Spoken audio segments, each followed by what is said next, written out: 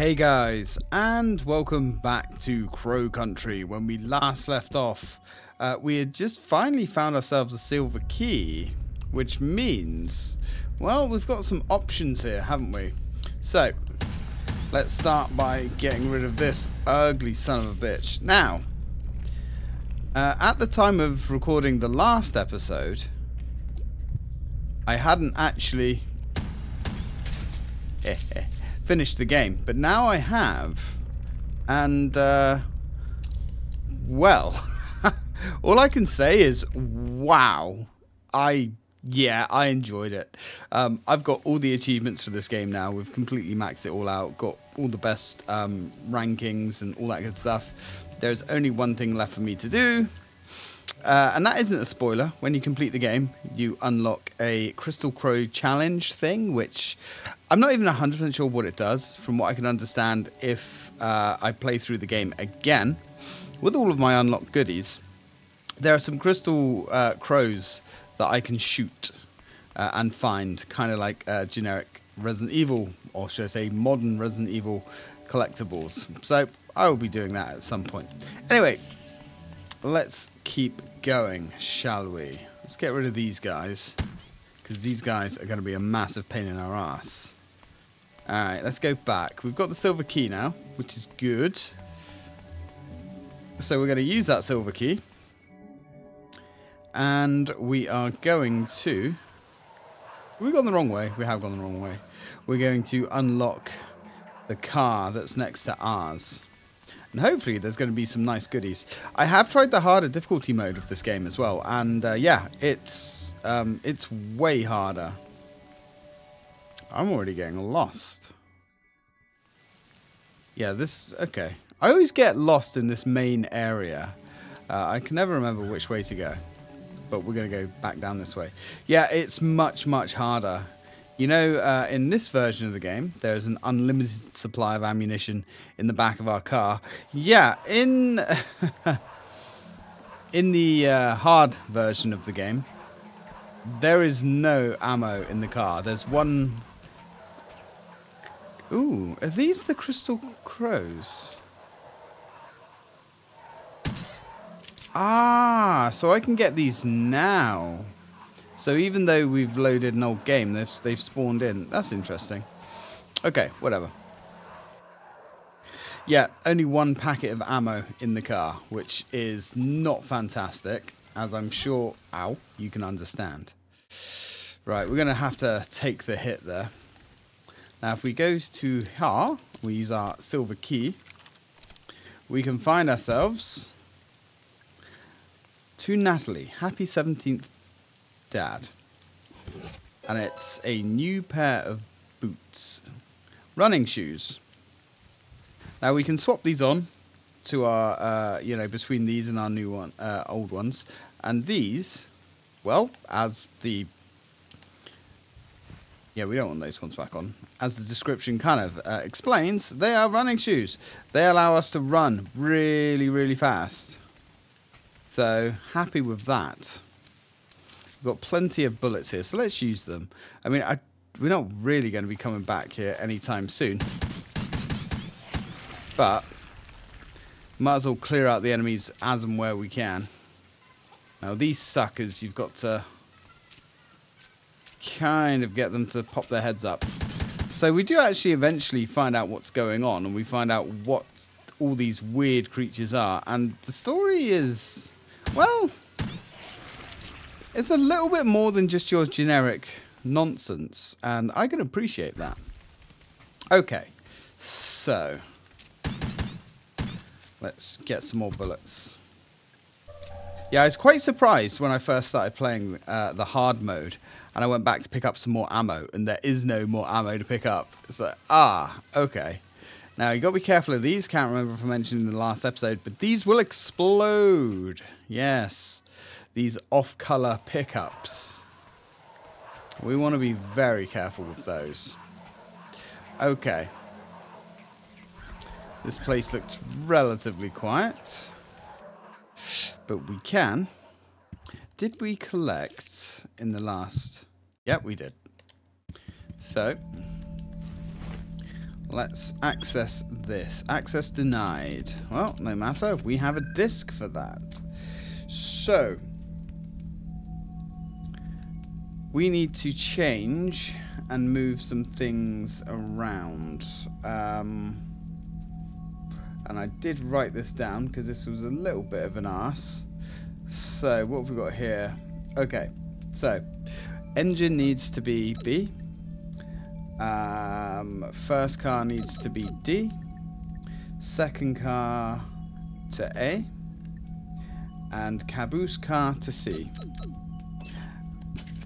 Now, I just fiddled with that for a while. Uh, it wasn't the hardest thing in the world. And there's a small flamethrower here. Now, this flamethrower is uh, extremely powerful. Uh, you you are limited with the amount of fuel you have, unfortunately. So you know you do have to be a little bit careful of that. But as I said, very, very, very powerful. Uh, and it's going to get a lot better in a second anyway. Well, maybe a lot better is a bit of an exaggeration, but it's going to get better. So, next place of cool is the gift shop. We can't go through the front door, but having the silver key, we can now go in here. Alright.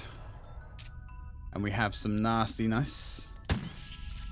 We have a horrible gas trap, which is gonna really ruin your day. There's also another nasty in here somewhere. Alright, good enough. I'm sure... Yeah. I actually thought there was more traps in here. Maybe there are, we just haven't seen them. There's definitely more gribbly... Yeah, puddles of... Whatever the hell that is. Puddles of viscera, I guess. Come on, my friend. Come and uh, experience sweet Sweet Justice. The hands of Mara. There we go. I think we've got him. Yeah, sweet. Alright, now, carefully does it. There is some more flamer fuel here. We shall take it. Whilst we're here, let's load that up. I'm not sure, like, how much flamer fuel this thing can actually hold. Uh, I think it's a respectable amount. So anyway, here we are. We're in the gift shop. And we only have two bullets left, but that's fine. In here there is a large med kit, which we can take, so we will. I can't remember if there's any other goodies. This game is incredibly dark. When I play this on my ally, it's nowhere near as dark as this. Uh, I just assumed this is the way the game was supposed to be, but I don't know. So let's grab the shotgun shells, because they're always going to be useful. And a handwritten letter. Gifts for Natalie. Haunted Hilltop Stuffed Toy. Classic Crow Country Rubber Doll. And the Fairy Tale action, uh, Town action figure. Thanks. Let me know the total. I'll pay you back. Now, before we worry about that, if we have a little look in the refrigerator, there's something inside. It's a mushroom. I'm a little mushroom boy. I'll use my mushroom magic to grant you a wish. Tell me, what is it that you wish? Uh, What's that?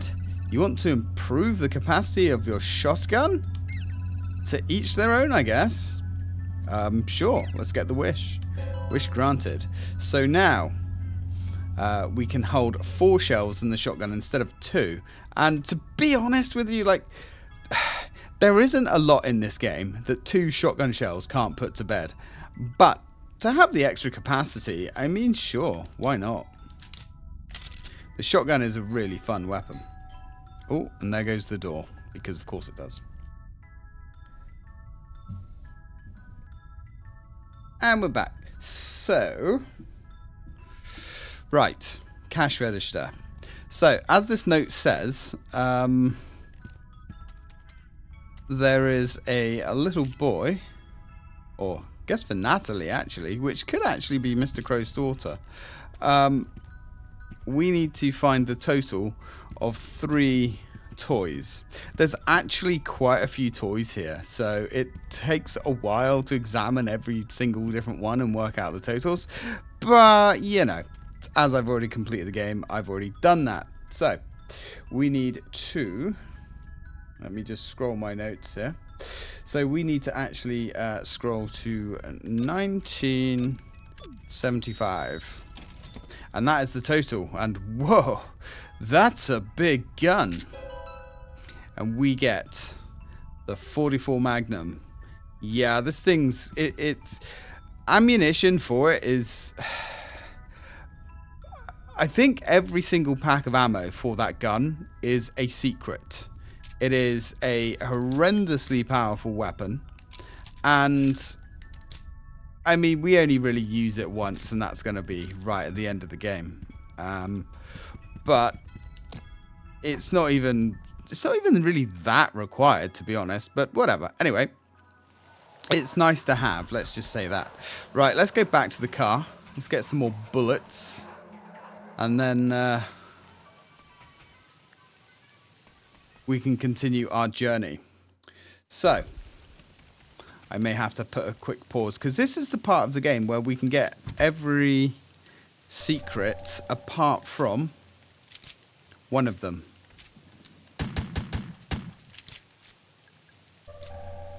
So I need to just have a quick look. Now, I don't know why we can swap these running shoes off. You can put the old boots back on. I don't know why. I don't know if they make her slightly stronger.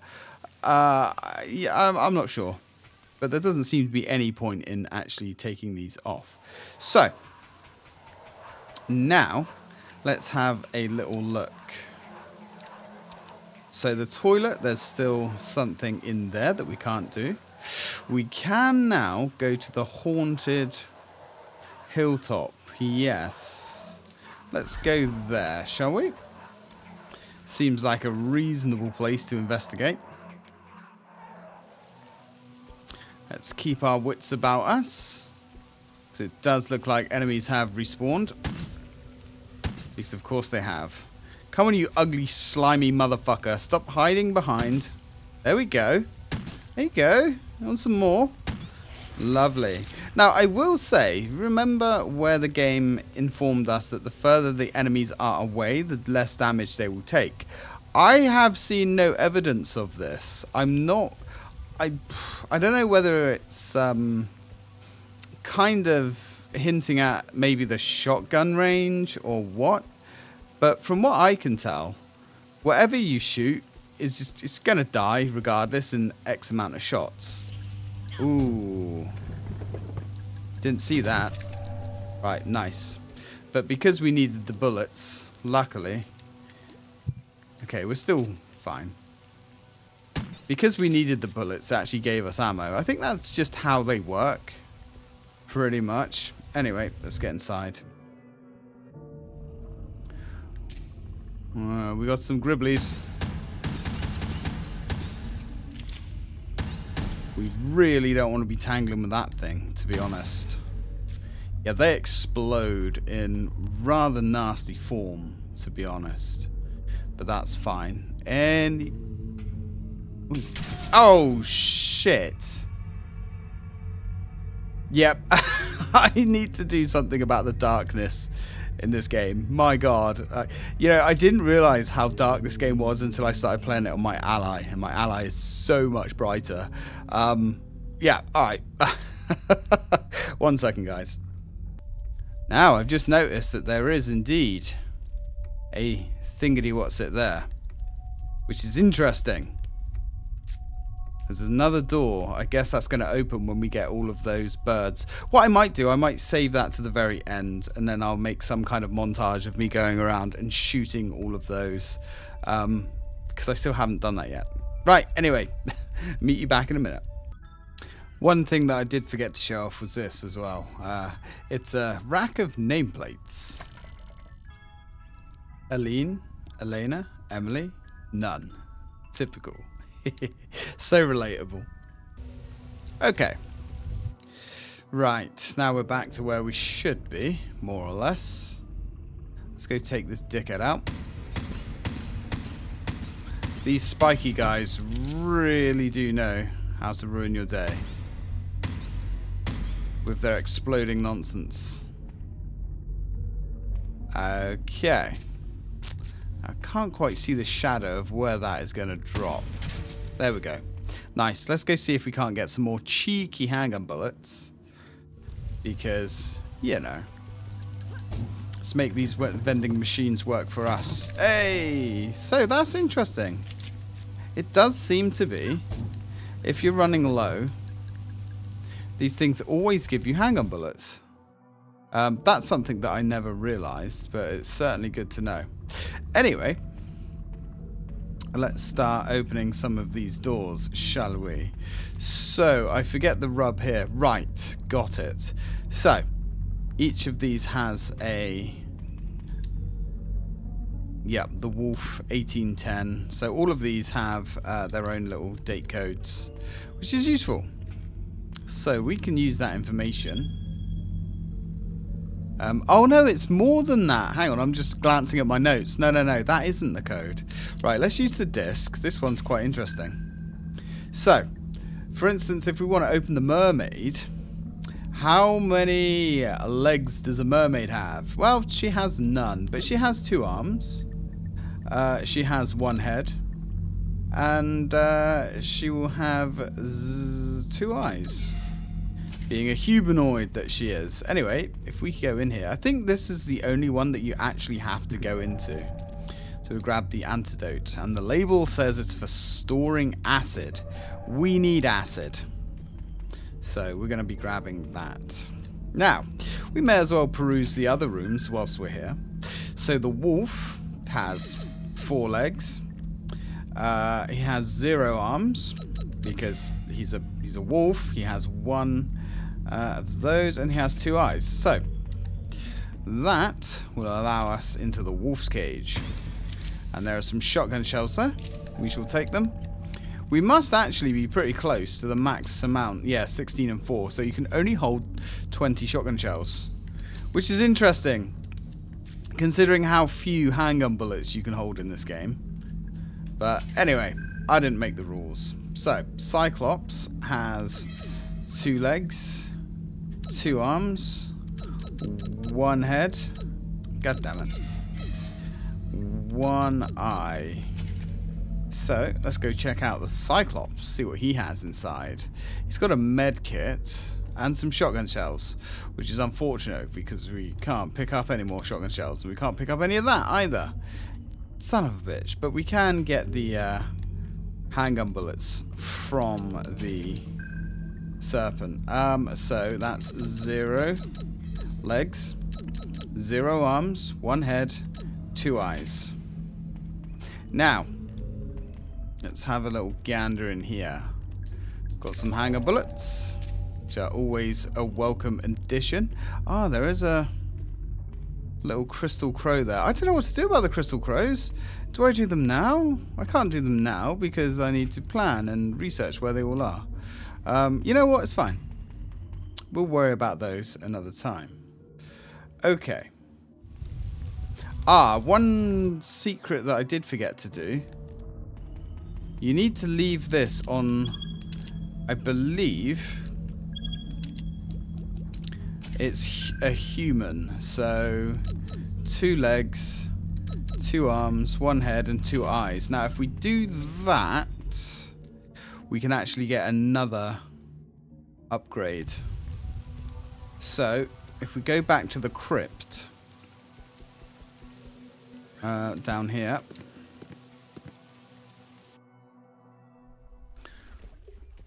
and then yes, the stone coffin will be accessible to us. The lid looks very heavy. Well, we're gonna, uh, maybe I shouldn't. Oh, but you should, Mara. There's a body. Beautiful woman. She can't possibly be real. Look closer. It's an incredibly realistic wax figure. I should leave it alone. There's a drawer built into the coffin. Well, uh, so Ophelia Pike, Atlanta Westview Hospital, nurse ID. There's an ID card in here. First aid book. First Aid Handbook, 1987. There's some good information in here. I should be able to put it to good use. So, that actually upgrades our medkit, which is not too shabby if you ask me. Right, so that's that. Now, we should probably go drop a save, to be honest. Oh, hello, I forgot about him. Little baby bastard standing right outside the cell. Maybe we should go deal with him. A little bit of justice. Now, we are actually on 20 minutes here, so I'm going to go save the game. Uh, the reason for this is I decided to do larger videos um, for the first set of this LP for the first week, and that stiffed me over pretty badly because I have struggled, and I mean struggled, to upload these videos because maybe it's the settings that I use, but usually when I upload a video, it's about 3 gigs. Uh, these videos were coming out at 10 and 12 gigs, so in the time it would take me to upload a week's worth of videos, uh, I've uploaded one. so yeah, we, are gonna go back to 20 minutes, guys. Uh, until the day where I have fiber internet, it's the way it's gonna be, I'm afraid. So anyway, guys, thank you very much for watching, and as always, till next time.